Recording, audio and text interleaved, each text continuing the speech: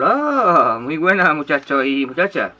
Eh, bueno, pues aquí en este vídeo hoy, eh, bueno, pues vamos a presentar un, proyecto, el cual es con Arduino y bueno, pues consta de dos Arduinos.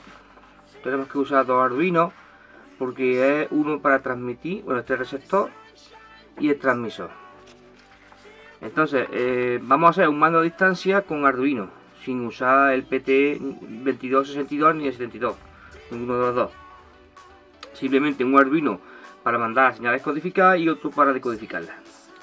Entonces vamos a tener aquí 1, 2, 3, 4, 5, 6, 7 y 8 pulsadores. Tenemos aquí un pulsador, 2, 3, 4, todos aquí representados. Donde le tenemos que dar un pulso desde, bueno, esto usando el Arduino Mini. Eh, alimentamos el Arduino Mini con 2 voltios aquí en rack que hasta los 15 puede aguantar. Y luego aquí en USC eh, salen 5 voltios por aquí serían 5 voltios los que salen. Y es lo que vamos a usar, la línea de 5 voltios es la que vamos a usar para los pulsadores. 1, 2, esto aquí, pues todos tienen que ir a 5 voltios no lo ponga ya a 12 voltios porque se podría quemar Arduino bueno pues en cada uno de, de, las patitas que vamos a usar yo la he programado para que sea 3, 4, 5, 6, 7, 8, 9 y 10 las patitas de transmisión, pero podemos mm, usar las que queramos. Eh, menos la 13, que es la que tiene salida para el transmisor, pues la otra podemos usar la que queramos.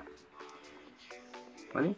Entonces, eh, da igual que sea un Arduino o sea otro, pero tenemos que usar dos. Entonces tenemos los 8 pulsadores, a cada una de las patitas le ponemos una resistencia a tierra o a masa, a negativo, de 10K. Aquí tenemos puesta un condensador, 2, 3, 4, 5, 6, 7, 8 condensadores, 8 condensadores cerámicos de 100 nanofarados. Están pintados aquí y puestos. Y ya tenemos 1, 2, 3, 4, 5, 6, 7 y 8 resistencias, 8 resistencias de 10K. ¿Vale? Que van puestas desde cada una de las patitas. Esta, por ejemplo, la 10, pues lleva una resistencia y en paralelo un condensador cerámico para los antirrebotes. Cada vez que pulsamos un pulsador, vamos a transmitir y cuando sortemos pues este condensador es el que va a evitar que, haga rebote cada cosa rara bueno pues esto como podéis ver es un circuito que está muy fácil.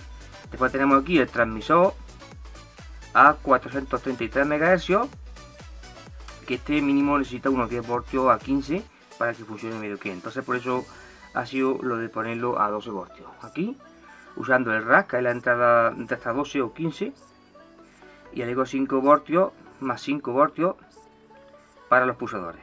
Tienen que ir todos los pulsadores puestos al positivo y pulsamos y transmitimos. Esto como podéis ver es un proyecto que es súper fácil, aun siendo para Arduino pues es lo más fácil, no, no es muy complicado. Bueno, luego después tenemos aquí el, receptor, donde yo también lo he programado, el receptor. De comentaros que este programa no son míos, yo lo he modificado y lo he puesto un poquito mejor. Eso sí, pero el programa no es mío, ¿vale? Yo todavía no sé programar Arduino. Eso que quede claro. Bueno, luego tenemos aquí el receptor que está también a 433 MHz. Un receptor. Este sí que funciona a 5 voltios sí o sí. Porque si da una voltaje se va a quemar. O sea que este ya le tenemos que dar 5 voltios. Bien con directamente de una fuente de un PC. O bien desde un regulador. Eso ya bueno, y esta, este ya lo que es receptor, pues esto ya es de lo más fácil. Esto ya cualquiera lo puede hacer. El receptor simplemente yo he programado para que la patita de salida sea la 3, la 4, la 5, la 6, la 7, la 8, la 9 y la 10. La 11 lo he intentado con un montón de Arduino y no me funciona, no sé por qué.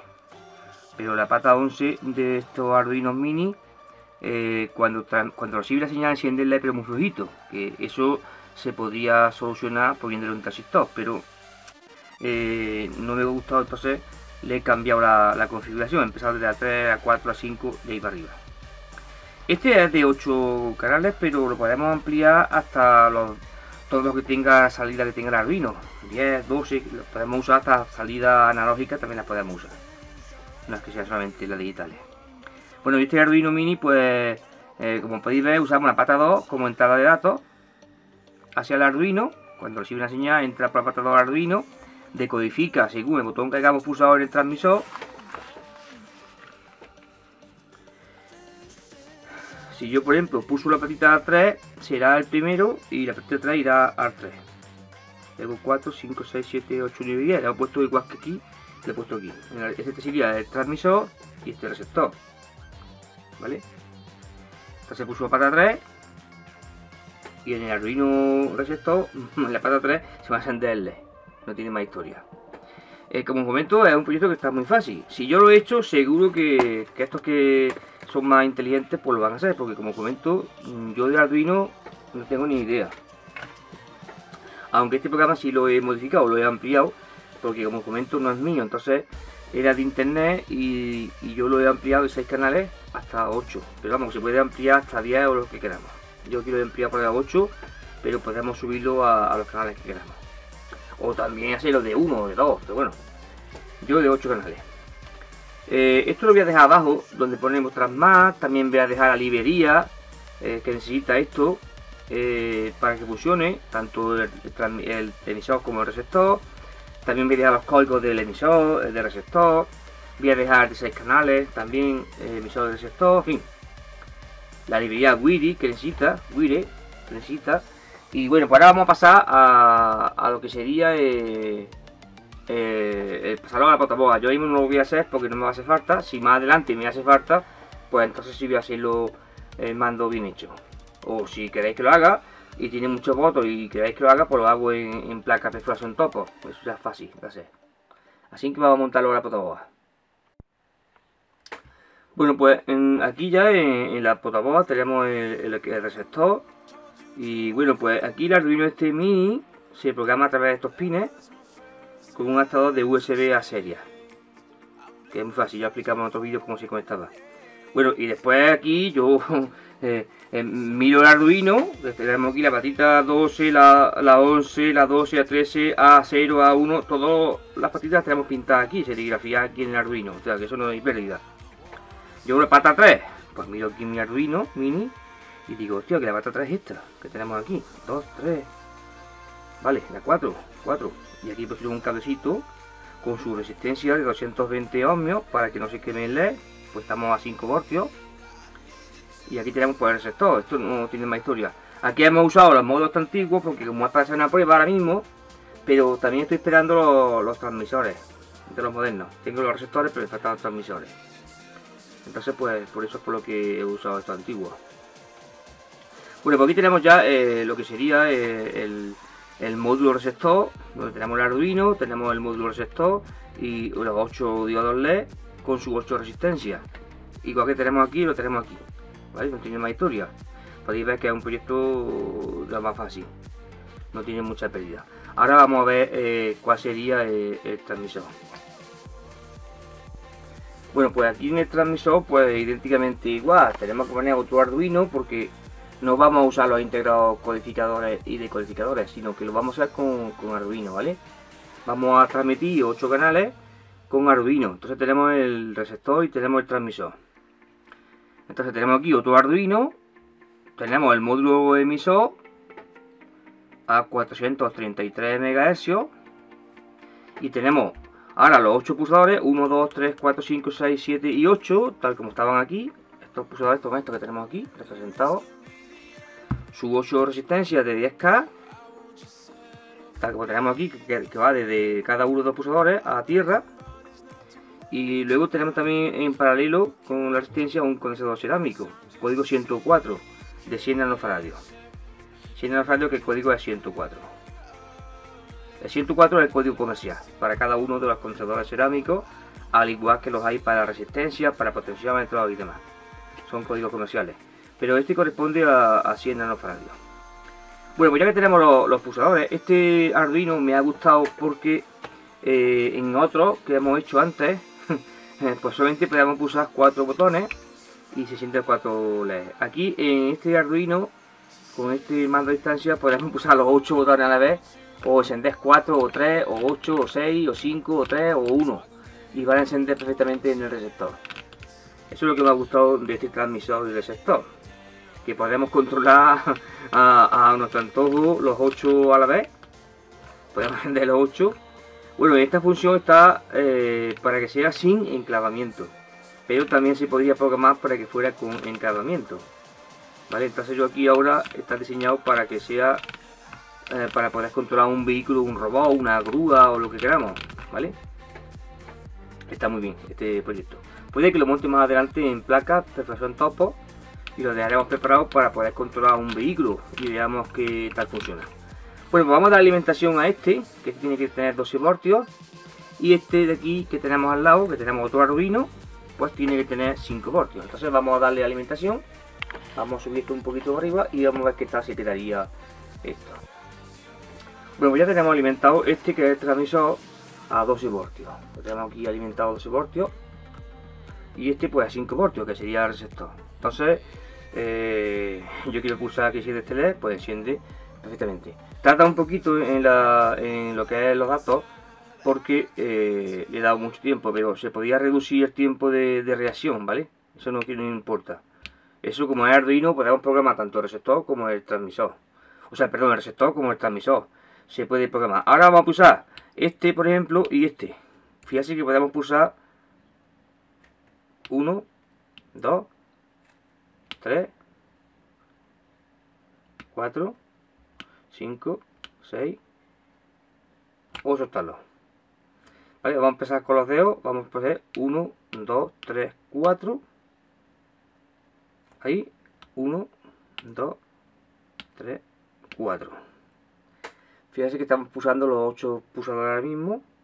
Yo puedo soltar, por ejemplo, 2 y volver a pulsar. No hay ningún problema. Podemos pulsar estos dos y volver a pulsar. O los dos de los miniques ahí y volver a pulsar os todos todos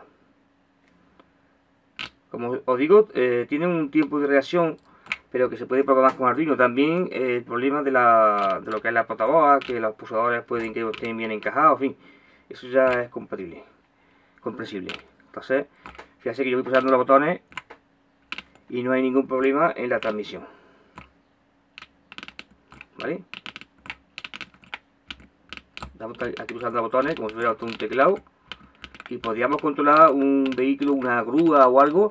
Yo la verdad que esto me ha funcionado muy bien a, grande distancia. Sin problema. ¿Vale? Como os comento, podemos mejorarlo, claro. Eso sí está mejorable, claro. Pero que fíjate que pulsando las teclas podemos hacer que enciendan a, a voluntad nuestra, ¿vale? No hay ningún problema. Yo creo que se nada más que este. Ese tiempo que le he dado que esté encendido, tiene un tiempo de reacción, ¿vale? Igual que este. Quito el dedo. Este, quito el dedo y tira un ratico ahí. Esto lo podemos mejorar. Le podemos quitar el tiempo ese que tiene de espera.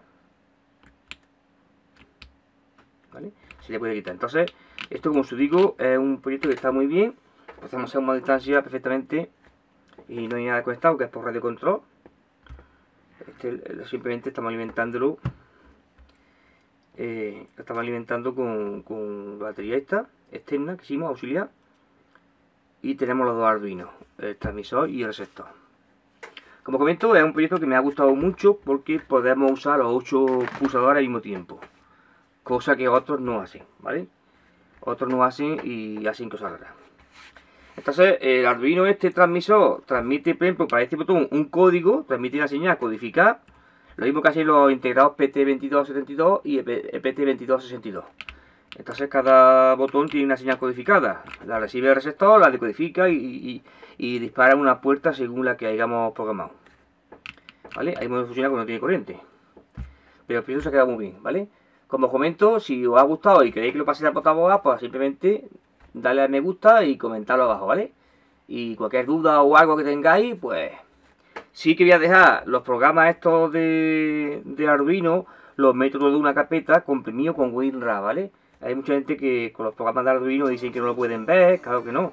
Hay que descargárselo a vuestro ordenador y después descomprimirlo con cualquier programa de descompresión, ¿vale? Porque eh, sería muy grande el archivo, entonces no me va a dejar subirlo.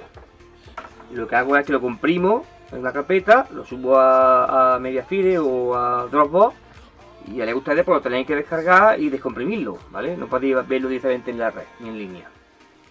Y simplemente pues ya tiene todos los problemas sueltos Así que si os ha gustado este emisor y receptor de 8 canales con Arduino, Arduino para recibir y Arduino para transmitir. Dedito para arriba, comparte, suscríbete mi canal, comenta y hasta el próximo vídeo. ¡Hasta luego muchachos!